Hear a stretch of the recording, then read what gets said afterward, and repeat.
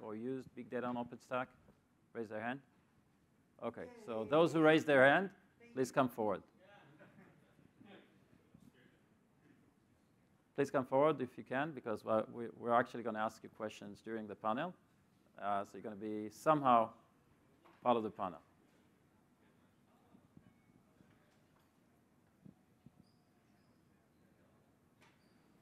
Okay, so, so the purpose of this really of this discussion is really to make it interactive. So I'm going to be the moderator. I'll uh, start with an introduction soon. Uh, but really, as a moderator, what I want to do is really uh, stimulate a discussion. Not more than that. We have a list of questions prepared. If you wouldn't ask question, but if I'll need to run through the entire list, that means that it's a failure. So please don't be shy and ask questions. Uh, so I'll start with an introduction. First of all, my name is uh, Nati Shalom, the CTO and founder of Gigaspaces. We've been in the big data space for almost uh, 13 years, uh, dealing with distributed computing problems, and some people already know the name, so I wouldn't uh, add to that. we'll start with the right-hand side. Craig? Uh, my name is Craig Tracey. Uh, I'm formerly the uh, cloud automation architect at HubSpot. I recently took a new position at Blue Box Group building private cloud OpenStack. Um, but at HubSpot, I'm happy to speak, my time at HubSpot, I'm happy to speak about our experiences, although I, I can't speak for what they'll be doing in the future. So. Cool. Ilya? Hello, my name is Ilya Elterman. I'm Director of Platform Engineering at Mirantis. I'm working on the projects like Savannah, Heat, and so on, and my team is actually founded Savannah, which is Hadoop on OpenStack. Cool. Hello, my name is Brent Holden with Red Hat. I'm the Chief Field Architect for our Eastern region. I work primarily with financial services customers and technology customers, helping them to build solutions around big data and OpenStack.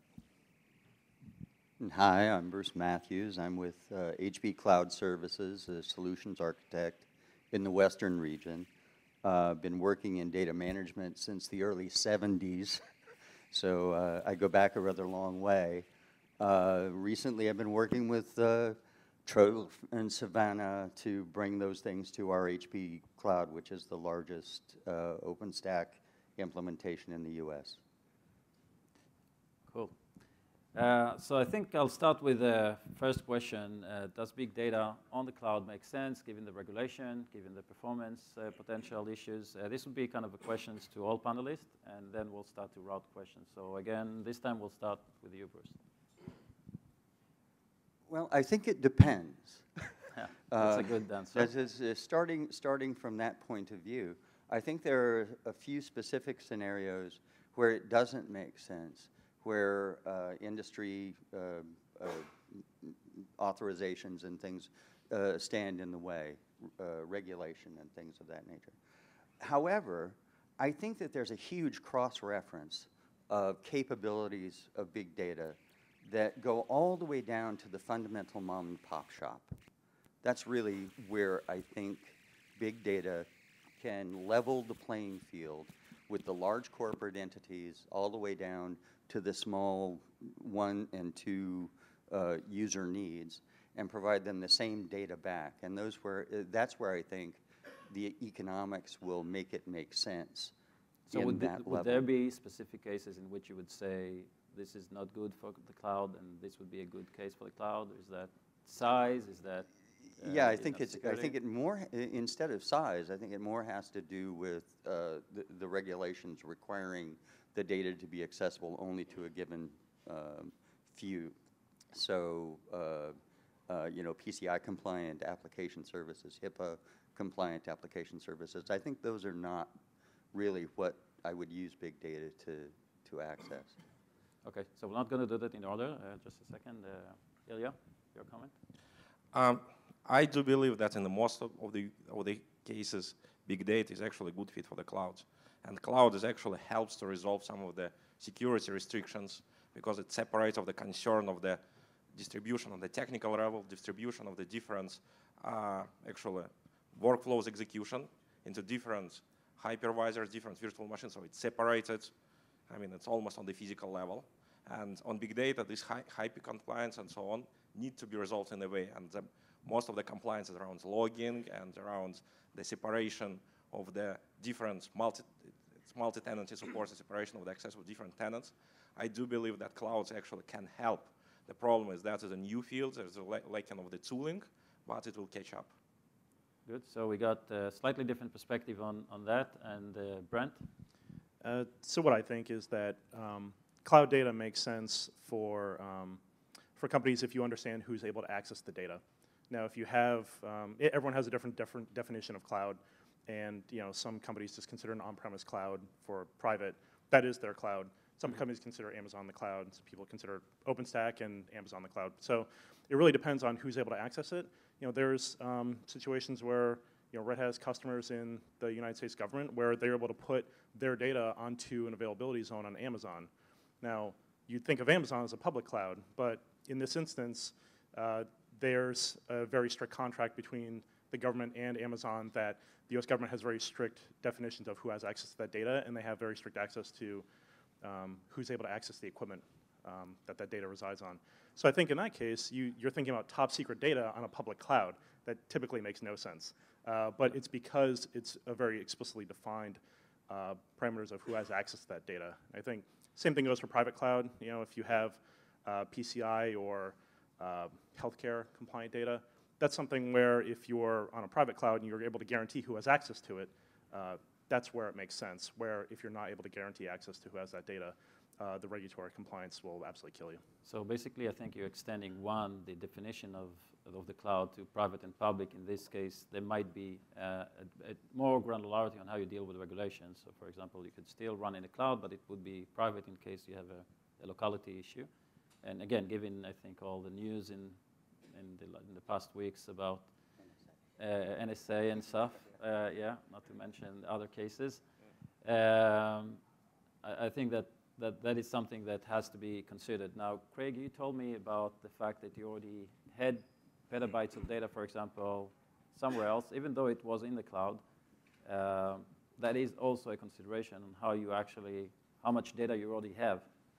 Uh, Well, when it you wasn't, actually, it wasn't petabytes, it was uh, large numbers of terabytes. Okay, Um, okay. But I, I'm, I'm probably not going to disagree too much here. I think it kind of depends. Uh, for us, though, having grown up in as a cloud company from the very beginning, like literally the only hardware that we had was a half a rack, and it served our wiki, I think.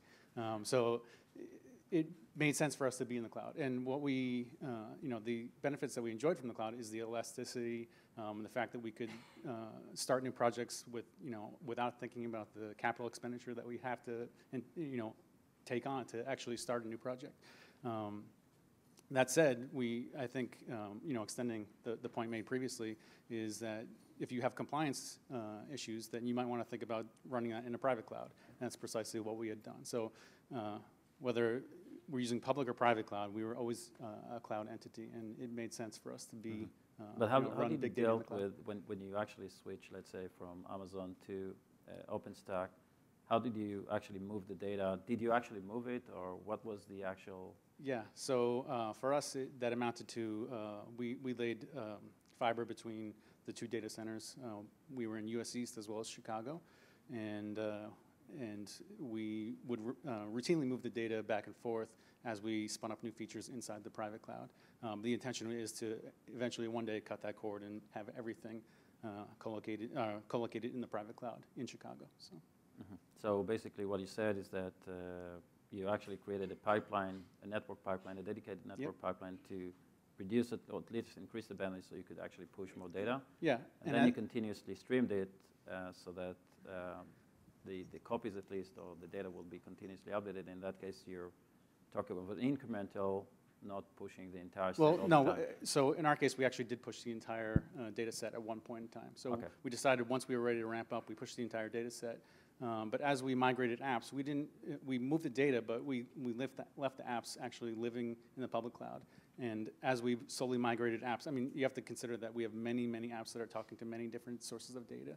Um, So we use that pipe as kind of a bridge between our public cloud implementation and our private cloud imp- implementation to kind of uh, manage the traffic as we were doing the migration. Okay, so, so again, just to be clear here, when uh, the migration that happens once after that one-time migration, how did you still had to keep the two copies alive because there were systems No, we actually, so I- maybe it, I misspoke there. was So, it uh, the, an, a shift completely to one location? so we, we shifted, uh, we have, maybe the confusion here is that we actually had multiple um, uh, Hadoop and HBase clusters. So uh, they all, all the data kind of interacts with each other. And uh, so what we would do is we'd selectively pick this cluster is moving to the private cloud. But at the same time, that, that the workloads that are happening in the private cloud actually have to talk back to the public cloud until we're ready to move those uh, workloads to the private cloud as well. Uh, so we left that low latency pipe between the two data centers while we were making that transition. And uh, I mean, for, so for someone that had our kind of footprint in the public cloud, you know, close to 2,000 instances, that's, uh, that's a big move. Yep. Cool. So um, maybe Ilya, um, let's talk about distribution. How much uh, distribution is an important thing?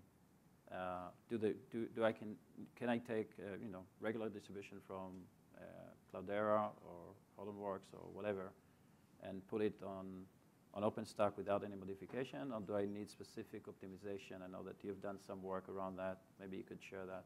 And you have also a session, I think, uh, sometime today. Yeah, I'm having, I, I, I'll try not to spend too much of the time talking like about Savannah features. And I have the session today It's 2.40 in the breakout room one, when we'll be talking at more, details and showing the demo. But in general, different distributions like Hadoop is like OpenStack. It's a huge big data platform with lots of the different components. There are some of the core components, and there are some of the integrated components. And different vendors pack them in in somewhat different fashions. The core is similar, but the peripheral service may, may differ, and the deployment topology may differ. So what we're working right now is to create a unified way to work with the core of the functionality uh, in a unified way in one API through the kind of creating a plugin mechanism and creating a unified way for integrating different management system from different vendors, but still enable these uh, systems uh, embeds their kind of specific features, their differentiation to, to the tooling so that end users can take advantage of, out of that. So I would say in general, they are kind of quite similar, but there are some of the different services and there are some different parameters that support it, different benefits, uh, like Intel supports and some hardware optimization and so forth, which will, will, will depend on the details of how they operate. Now, uh, Bruce, yes. Yeah, I Bruce, was- I you was had gonna uh, an say- experience with MapR on that regard, and Yeah, that, that, I- I, I mean, I think that there are actually lines of delineation, lines of demarcation between each one of the distributions as they stand today. I mean, uh, starting out with just the Apache and HDFS and MapReduce components, um, i- i- i- a lot of people i- i- have this conception that I don't need to specialize my hardware to do anything for Hadoop. I can use my laptops and old, you know, HP computers and, you know, whatever I have available and stick them together with a couple of switches and voila, I've got a, a in Hadoop environment. If you do that, you may actually be able to run Hadoop, but you won't be satisfied with the end results. So as a result, you really have to look at it as an application service and host the components of it in different ways on differently configured platforms. There are certain formulas, and I think this goes back to the point that Ilya was making, that, you know, it's sort of a one virtual core, uh, four gig of RAM, one terabyte of storage as a data node. Yep, that, that will work for almost all of the distributions. However, if you're dealing with MapR, for example, which has the MapRFS, and it's trying to write an 8 kbyte block across those things, as opposed to the 64 kbyte blocks in Cloudera or some other distribution. You actually have to go through and, and design the sizing, the striping, and all of those things, or the raw nature, depending on which distribution you're working with. And it's founded on those sort of mathematical principles, you know. so, so I think that the general sentiment is that you could run it out of the regular distribution, but you wouldn't get the most out of it. The uh, performance will specifically suffer. the performance aspect.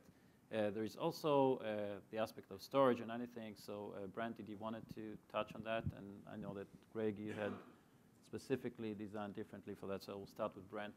Well, so I, I did want to address the point that the, the distributions are aggressively trying to differentiate from each other. And uh, some of that involves proprietary extensions, you know, uh, the, the SQL interfaces on top of Hadoop, and some of that involves the storage integration layers uh, on below Hadoop.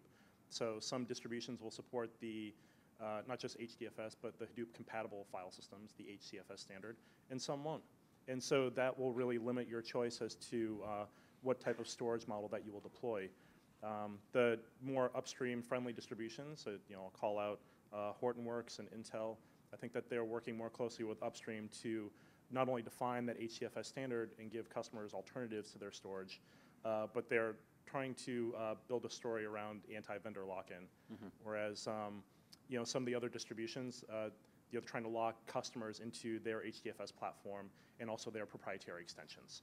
And so, you know, it's up to you as a customer to figure out what's right for you and what model works, and do you want to use their HDFS or do you want to use another uh, scale file system that HDFS compatible? But is there a Like- distribution that would, you would say, are better fit for cloud and OpenStack specifically, and other distribution that are less optimized for that, in your view? Well, I, th- I think the, the distributions that are embracing cloud are probably the ones you're going to see more success with. I think Hortonworks uh, embracing the Savannah project that Ilya is working on uh, with uh, Matt Farrellee at Red Hat. I, I think that that, that type of embracing uh, cloud and that type of distribution model makes more sense. And I think that those are the, those are the types of distributions that customers are going to lean toward, towards when they use it on cloud.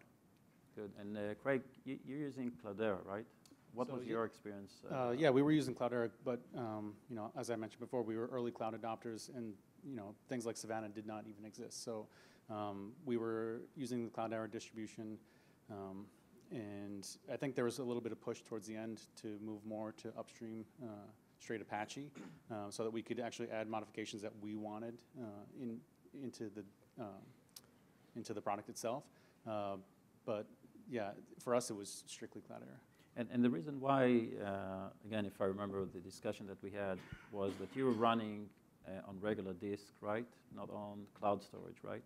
Yeah, so uh, when we were in public cloud, we were running on uh, strictly ephemeral disks. Um, and uh, in the move, in the migration towards private cloud, um, we were actually running on top of uh, the bare metal driver for Nova. And in that case, we were just sitting literally on top of uh, 16 terabytes of raw disk. So Okay, so in that case, you didn't have a potential conflict with the way storage is actually managed file, file system No. versus Hadoop that is Yep. managing its own file system.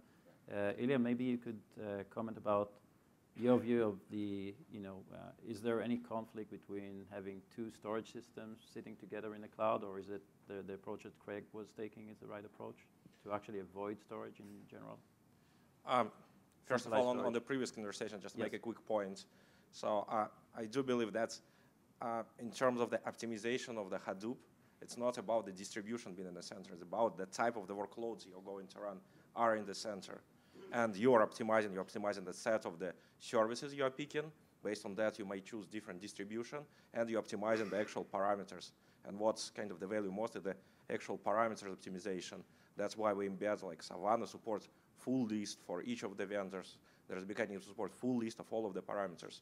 And for some of the users, that might be extremely important to optimize the configuration of the Hadoop cluster for the actual workloads. That's the, the, the key for big data at this point, because the whole big data story is a kind of a set of what you compromise, because you can't do everything in a cost-effective fashion.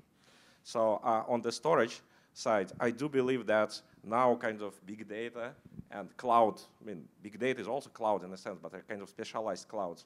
And now there is kind of a period move of the general purpose cloud that solves the providing an infrastructure as a service in general.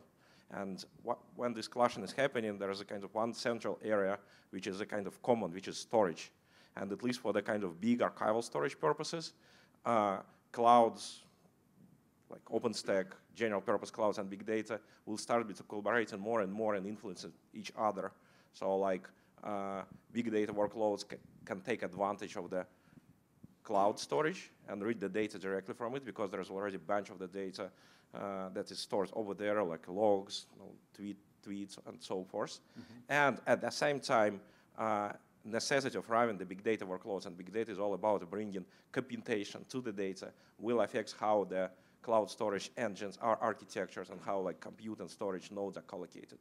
Yes, I think we're touching a very big point here. I'll, I'll come with a few questions here, but I'll, I wanted to first of all see if there are questions from the audience uh, before I continue.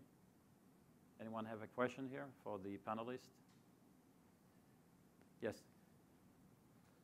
Uh, yeah, here is a mic there. Basically, I have uh, several Cloudera project in, because I'm Cloudera partner and I'm have a OpenStack in my computer office, and my client mostly uh, government with the cloud stack. So we make a we starting with the small project in the Hadoop and the Java and everything, and on the OpenStack because we can make a virtual machine in my lab, yeah, in every project. So after that, we move to the cloud stack, and now we are working to make sure that the Cloudera have independent rather than on top of the cloud stack to make it faster, and they have managed their own storage. That's my architecture in our projects. I think we have four or five, something like that, and now we are like integrating everything the Cloudera because we use a lot of Cloudera. And your question is? One project and one question is it this is a good one or not? Because I can see uh, uh, we have a problem with uh, how to make it faster and if the Cloudera, uh, the Cloud Stack have problem, we follow the problem. So I want So, to know. so the question is whether running Cloudera on OpenStack is yeah, good or- enough? or. They're running cloud stack, so the first recommendation, switch over to OpenStack. Switch over to OpenStack, right. Start there. And, and the, the actual question was, uh, th- tell me if I'm summarizing it correctly, uh, would be, would running Cloudera on OpenStack has uh, any performance issues or needs? Yeah, excuse me. Maybe, I- I- uh, I was yep, going to say so that I think, really, this goes back to something that Ilya was talking about earlier in terms of the workload driving the use of a distribution, not the other way around. So it isn't that Cloudera may not be, you know, configured as well as you'd like and things like that, but it might actually be that it- using Cloudera to satisfy your workload isn't the fastest to run. And the only way that you can actually figure out whether that's the case is to go gauge the number of slots that are being used for specific tasks and whether you're getting contention for uh, the available resources to do different tasks, whether you're timing out on data nodes of the task having to be repeated to get done, things of those nature, uh, that nature. And then if you are, that will point to the portion of the configuration that's constraining it. And as a result, then you'll be able to analyze what you would need to fix, which may point to a different distribution to run faster, if that makes sense. So if I summarize it, what you're saying is that there is one option of distribution, second options of parameterization within each distribution on how you could optimize it, and if you optimize it for the, and, and there is no one optimization for all workloads, you have to optimize for a specific workload. So it looks like uh, the answer is that you should be able to get the performance that you're uh, looking for either by the choice of distribution or through the configuration, and cloud is not necessarily the bottleneck uh, in that space. I think that's kind of the summary. yeah. If I may. Yeah. I even disagree with that. I mean, Okay. Cool. uh, I disagree with the fact that workloads is really is really kind of that much drive the choice of the distribution. I do believe that all of these distributions are trying to solve the similar problem different ways. Some do vendor looking, some not. But almost any problem which is at, at all solvable with like Hadoop per se can be solved with Any of the e- any distributions. of the distribution. Just a matter of different type of the optimization, and maybe in some cases the cost would be slightly higher. But in general, they are not that much different in terms of their what the end result is, and it's absolutely possible to solve all of the applicable Yeah, I'm sure that the distribution vendors here, if there are any, uh, will disagree with that, but uh, we'll keep that. Uh, so just uh, Bruce and Mike, right? Uh, you said that you raised your hand when I asked the question of if you're using, uh, so maybe you could elaborate on that. So we're, we're using, uh, is this on? Yeah, we're using uh, Cloudera. So it's, we just have a chef, chef script. Uh, the hardest part actually was, was identifying and and the what, nodes. when you're saying we, Oh, uh, uh, uh, data tactics, we're a data engineering company. data engineering company. Yes, we do Okay. analytics on the data. It doesn't matter, you know, we could do it from Excel to Hadoop Okay. uh, and everything in between. Uh, so we're looking at the analytics. The question for you guys is, um, have you done comparisons between, okay, here's my deployment with my sample data set on OpenStack, theoretically optimized, vice an equivalent on, uh, you know, hard OS to hard iron? Yeah.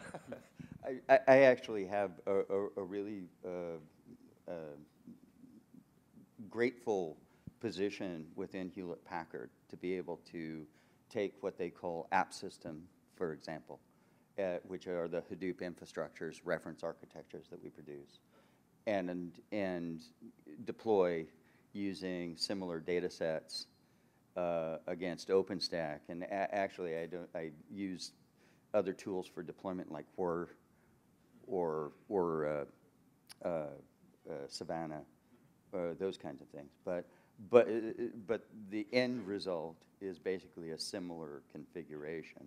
And then I actually run quite a few of the, you know, word count pi, TeraSort, TeraGen, uh, those kinds of things, Cloudburst. Um, there's a new one out there called YCSB that I've started using. It's more like an OLTP kind of thing. Yeah, that's the Yahoo benchmark, uh, for those who are not familiar. Yep. Yes.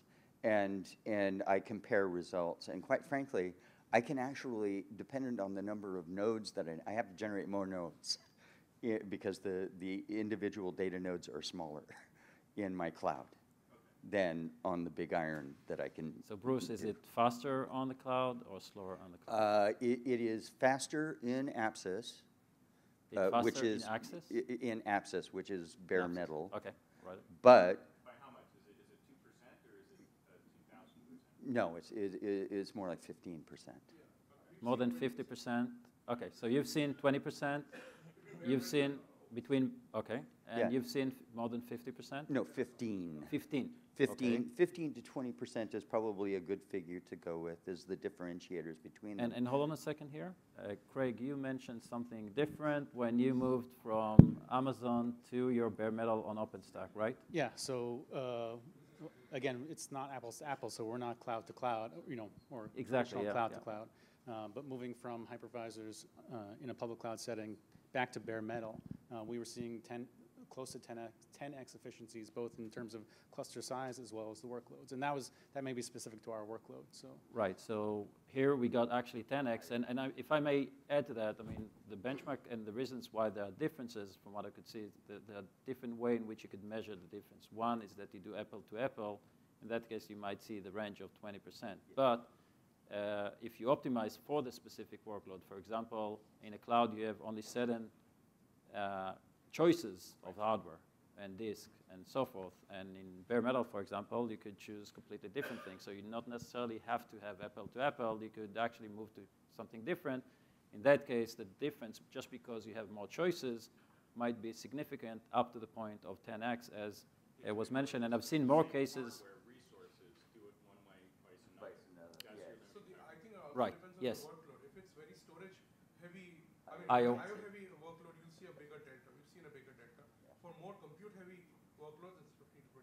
Yeah, I, I think that's the general sentiment in the community that you know virtualization is not particularly designed for I/O heavy workloads. Um, I think with with Hadoop, it's unique that uh, you can have the I/O sit over the network, so you can access that uh, using a Hadoop compatible file system. So that that sort of uh, that allows you to keep your um, you know your data on fast IOP machines uh, and your compute on just that abstraction layer for virtualization. There are situations where you'd want to co-locate your uh, your data with those uh, with those uh, CPU-intensive workloads. You know, in that case, you know, you you will see an improvement over uh, virtualization just by the nature of if you have high IOP jobs, you'll always see an improvement on bare metal. I don't know if it's uh, 10x, uh, but certainly it's much better performance. Yes. So, uh, you know, possibly I might ask some language systems, but uh, uh, from Symantec, we are starting this journey where we are looking at the big data uh, space itself.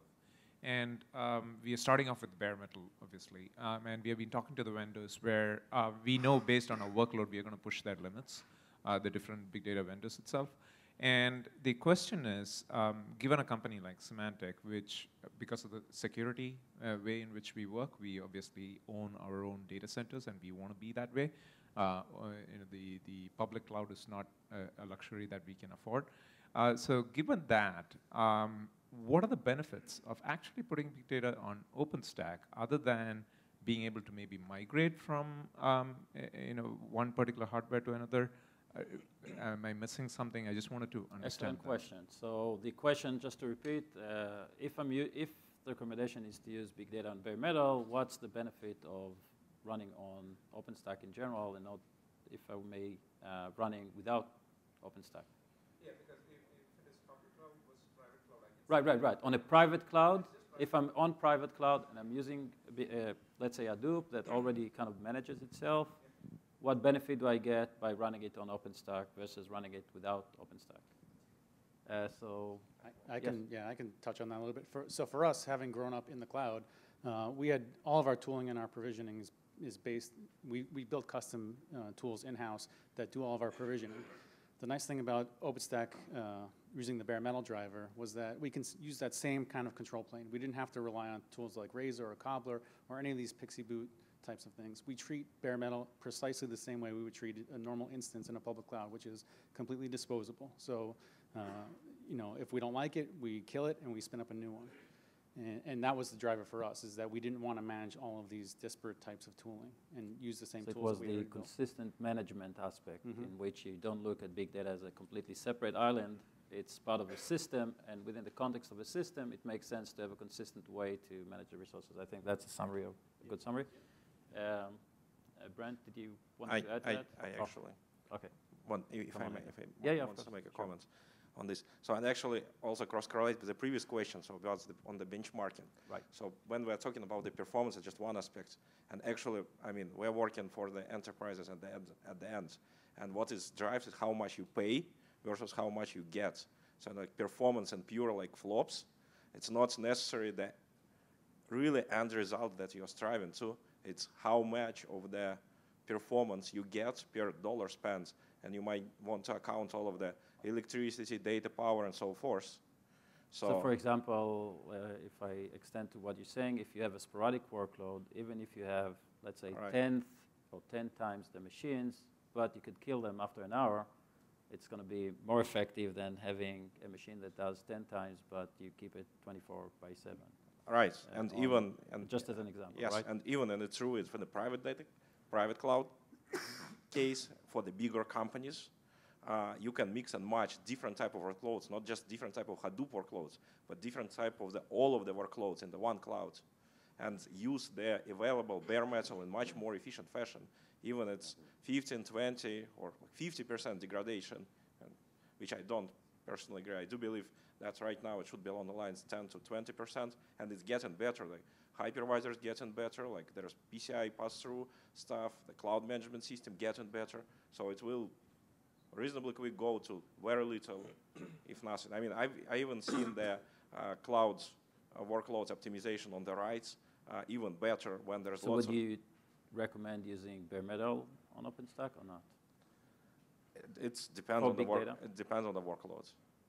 Okay, so your default still would be depend on the workloads. hypervisor, and only if you don't have, what would be your recommendation there? Uh, I mean, the bare metal provisioning is a part of cloud, is a part of OpenStack. Right. So, um, and it's just a flavor of the type of the on-demand resource you're spanning off. It's more expensive type of the flavor. Like in the Amazon, you have like more expensive instances. So you can spend like small or large virtual instance, and it's cost. At the end, it's all about the cost. It's cost your company whatever, like 10 cents per minute, or you can span the bare metal machine from the pool of the bare metal provisioning pool, and it will cost I don't know, like two dollars. So it's a cost versus performance uh, ratio. So if you're less worried about cost, then you'd go with performance, and in that case, bare metal would Right. make sense. If you're more worried about cost and willing to sacrifice performance, then virtualized instances might be a better choice. Good answer. Yes, uh, there are many questions here. Yeah, I have a let's, question. Uh, I'll let, Uh, uh, One of the problems that I was uh, thinking of with just if you could uh, say your name and Oh, where uh, name's from. Jeff Applewhite. Uh, I work with uh, NetApp. I work with our Hadoop implementation.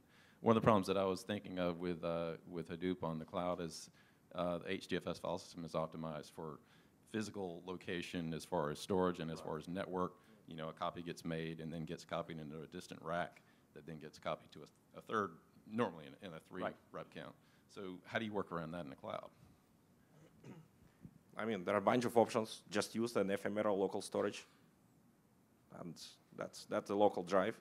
And the hypervi- most of the hypervisors nowadays do the right So in that case, you bypass the cloud storage using the local uh, In that case, you bypass the cloud storage, right? Right, and let, uh, and let HDFS basically become the storage All right. uh, for that. I mean, there, there are different cases. There's different use cases.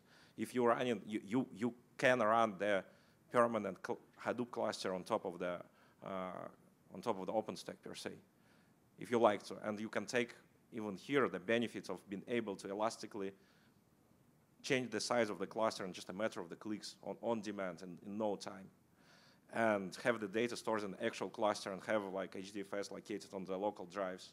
And there's a bunch of the work on the Nova side, which is happening on. Uh, there would be, I, I, believe in the Havana timeframe, it's already possible to map like spindle to the tenant. So there's no competition of the different tenants to the right access to one like hard drive spindle. Mm -hmm. Or you can use, I know, like SSD drives. I mean, there's, there, it's, it's not a silver bullet. It's all of the, it's, it's a platform. You can configure it to work best in your case. So, so I think uh, part of the answer to your question is that you have choices either in the cloud or in the cloud, and there are probably solutions for most of the options. It's mostly the option that you choose, not necessarily, you know, kind of a, a one answer to that question. So, uh, Bruce, I think, uh, and Brent, you had uh, a different perspective or something well, I, I, I, think it comes down to data locality. I think it's the general uh, question, right? It's how do you guarantee data locality? And I think you know things like software-based storage, like uh, Red Hat Storage, have uh, the features like NUFA, which is the non-uniform file access. It's essentially like NUMA for storage. Mm -hmm. that that will allow you to get data locality, um, but that also uh, means how does that the things data like, locality works with so that, that, that means like things like H Nova have to be aware that these things exist. Yep. So I know that those types of uh, you know OpenStack becoming rack aware is something that is going on within TripleO right now. Um, Nova becoming uh, more aware of the storage is effort that's going on right now. So I think you know to the point right now is how do you guarantee data locality? You know, I, I think there's not a great way to do that right now. I think that a lot of the things that we're talking about are problems that you know we're trying to address as a community. So if I could just make one comment with that. So we, we had this problem with the bare metal. And uh, one nice thing that we have access to with OpenStack, especially when running with the bare metal driver, is that we could change it. And we had this precise problem where we needed rack awareness in order to, to make sure that we had redundancy across racks. Um, so we just changed it. And uh, we added rack awareness. And uh, we actually built an entire GUI on top of it so that any developer could go to the GUI and say, I want a new node in this rack because I know that I have to stripe across these racks. In the public cloud, it's, you know, we did the quick and dirty where, you know, an AZ is a rack, right? So. Uh, and also in Savannah, we already moved a step forward toward that.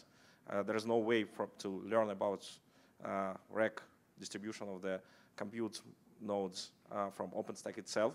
But if you give the Savannah simple configuration file, it will analyze it combined with the information where the actual virtual machine is located that is taken from OpenStack, combine this with information where the Swift data located and pass it over to Hadoop. So Hadoop scheduler can take advantage of this information and enable data locality for the Hadoop workloads. It's, it's what it's so basically you're saying that in the pipeline there is in each step there is some level of data locality and each tier takes care of the data locality in its own pipeline. So for example, there is no data locality between Swift and Hadoop, but the routing of the data is somehow related. Is that what you're saying, or are you saying something different that I didn't go?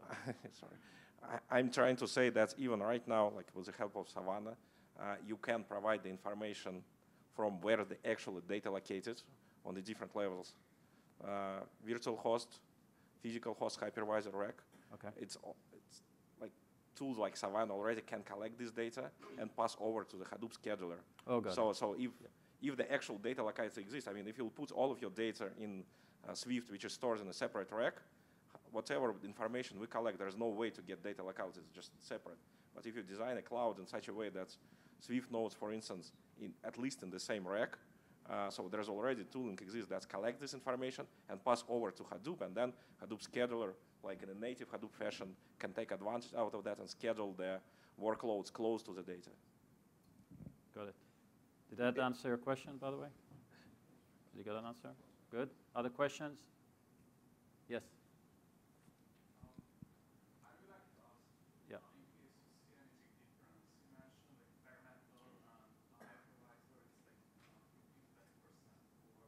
Yeah, just wait for the speaker because I, am not hearing you. So uh, I would just like to ask, like, there is, uh, you say like there is 15 to 20 percent overhead uh, comparing to bare metal visual, uh, virtualization. You see any big difference uh, between different hypervisors, uh, KVM um, or Xen or ESXi in um, data nodes with a lot of disk I overhead? So overhead with the hypervisor. Yeah, so I, I was just going to say, it's, that's only really for some workloads, because I think Craig had mentioned earlier that it's really kind of workload dependent as to whether that's 20% or whether it's 10x, which it could be. Um, and I think that, that from the hypervisors that I've had an opportunity to deal with, and believe me, I, have you know done the, the Hyper-V and, and VMware and, and KVM uh, from our, our standpoint to look at. And eh, eh, eh, I've, I've sort of found that KVM for the Ubuntu platform that we're hosted on is actually the, the fastest out of, out of those platforms. But that's sort of personal and empirical experience. It's not really, I haven't studied it. Just to qualify the 10x, we were, I mean, we weren't talking about hypervisor to bare metal strictly, right? We are also right. talking public cloud to private cloud with noisy neighbors, noisy networks. So, I mean, that's a huge difference. Uh, so the question, uh, did, does anyone else have anything to add about the choice of hypervisor? Actually, on this 10x, probably part of the reason that in Amazon environments, you have much less of the control as actual Hadoop cluster configuration. You even really know unless you're just running your own cloud. Yeah, we were. Ah, you yeah. were, okay.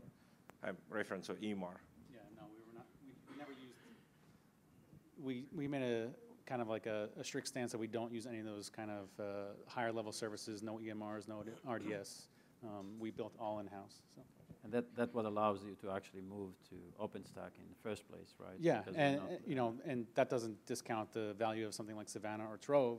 Um, it's just a, a, design decision that we had made early on, so that we, you know, in 2007 we had no idea that these things would actually be. You know, we were even predating EMR and RDS, so um, it was just a design decision for us.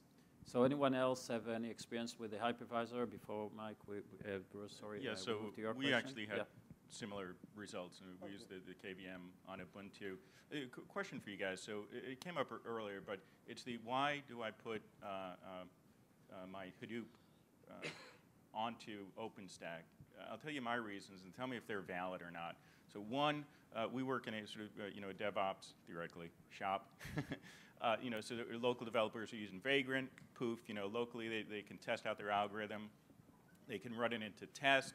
You know, Poof, it instantiates uh, in OpenStack. And, you know, this would be like a small cluster with, you know, a small amount of data so that we can review and test the algorithms. In a production environment, uh, right now on the hard iron systems, you could get as low as 4% utilization of that server. And, and we just can't afford that many servers. Uh, so one of the things we were thinking of was that OpenStack may allow us to, to make use of the no ops. You know, it's you know, nothing, nothing, nothing, map reduce. You know, nothing, nothing, nothing, map reduce. Uh, behavior, uh, uh both networking, I/O, and CPU. So a question there is: Is that a valid assertion? And it kind of gets into a bit of the scheduler uh, and scheduling of all of this. And is that something that would need to be expanded?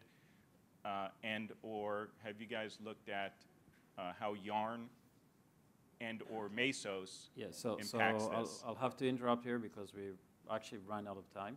Uh, I know that there is a lot Five of more questions. minutes. Five more minutes? Okay, good. So we got time for one, uh, for, for, an answer for that? Well, so um, I guess I'll answer that. So I think, I think the questions that you're asking are in general, why virtualize? Um, you know, consolidation and elasticity.